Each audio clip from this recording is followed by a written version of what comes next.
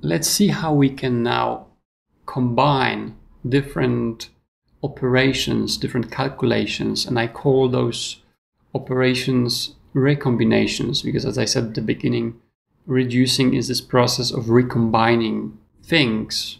It's still abstract. Let me give you an example.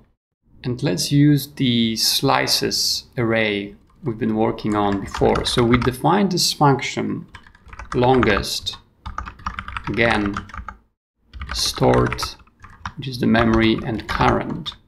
And then we define it as a stored length greater than current length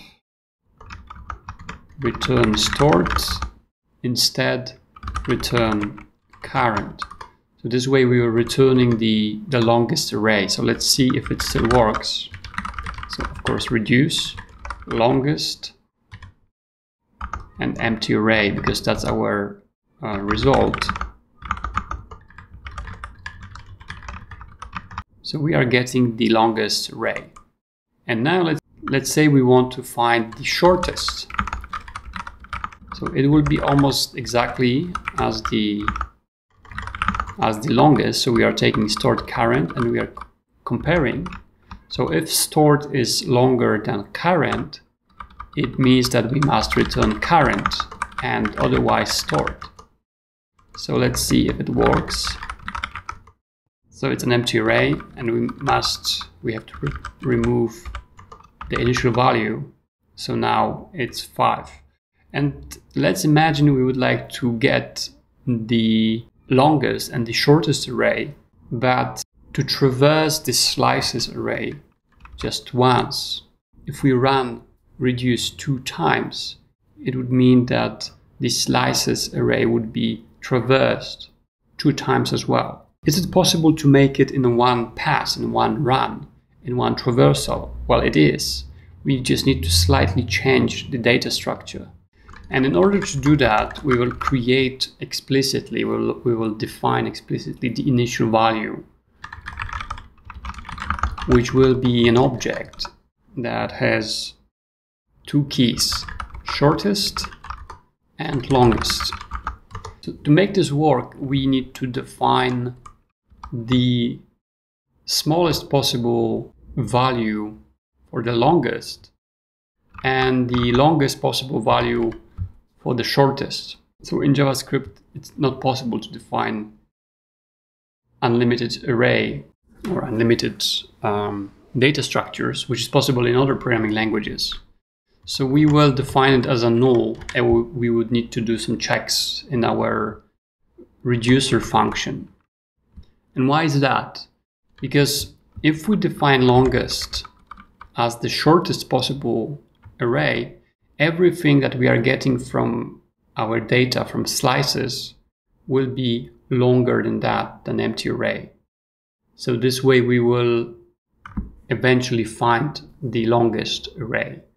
And if shortest was the unlimited array, an array of unlimited size, every other array will be shorter, of course, because uh, an array which has a definite size is always shorter than an array that is unlimited.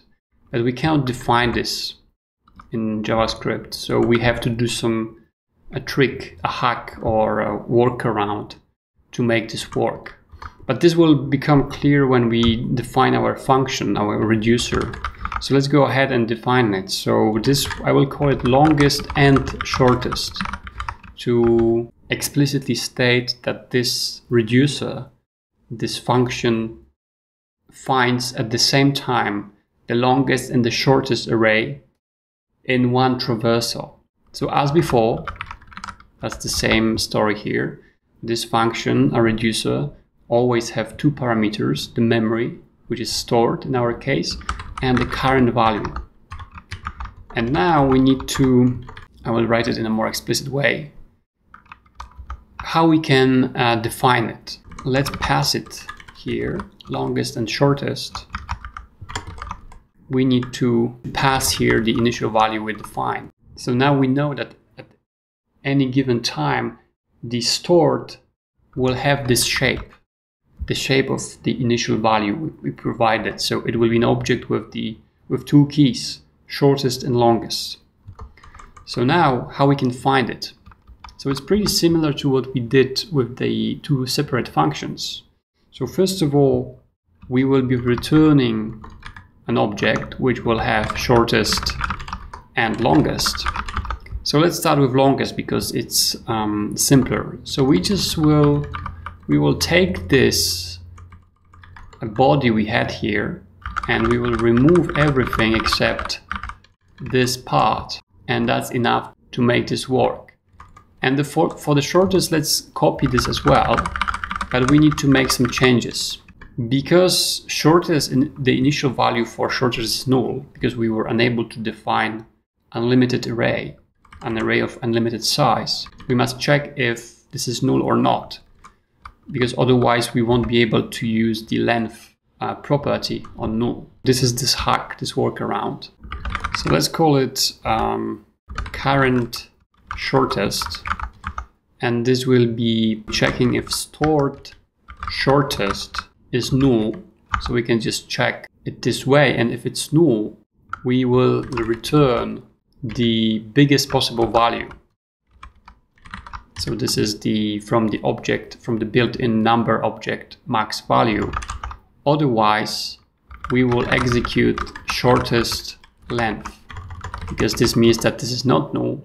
This is some array and we can get its length. So now here in the shortest, we can use the current shortest and we can compare it with the current length. And if the current shortest is bigger, we will take current because it's smaller. Otherwise, we will take stored shortest. For the longest, we need to make the same adjustment. Because stored is an object, we need to access the longest um, part of this object here and the length. Current is always an array, so we can access length directly.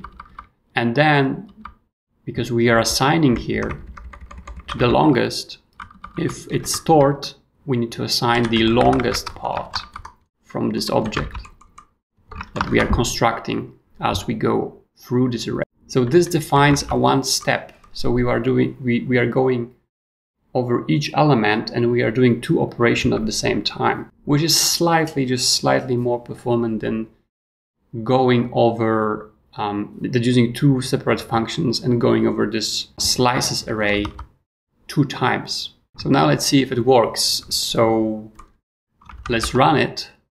Okay, I made a small mistake. So here in the current shortest, we need to invert the operations because if the shortest is defined,